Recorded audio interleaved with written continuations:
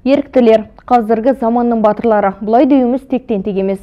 Қоғамға пайдасы тиетін жастардың қатары көбейіп келеді. Сол ерікті болу ісі жастарға не береді? Пайдасы бар ма? Тілші тарқатады.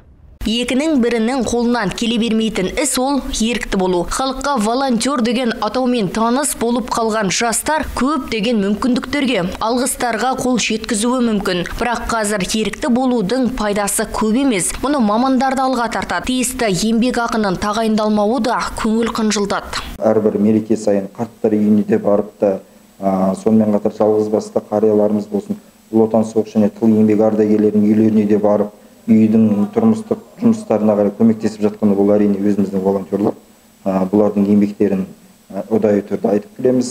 Енді жұмыс болғаннан кейін таяқтың екі ұшы болады ғой біреу жақсы біреу жаман деген секілді.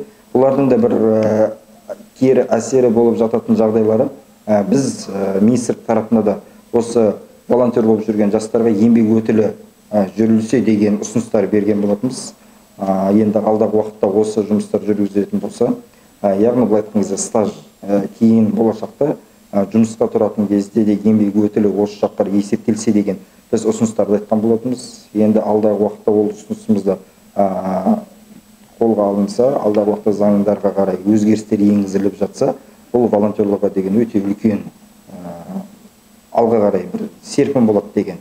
Ойдамыз Еріктілердің еңбегі тиісті деңгейде еленіп, қаржылай қолдау болса, волонтер жастардың саны артатыны белгілі. Бастысы қаржы үшін емес, халықтың жағдайын жақсарту мақсатында іс қылатын азаматтардың саны көп болсын. Тахмина Тәліпжан, Әділжан Сайлаубеков, Әлімжан Ақпаев, 77 Ньюс.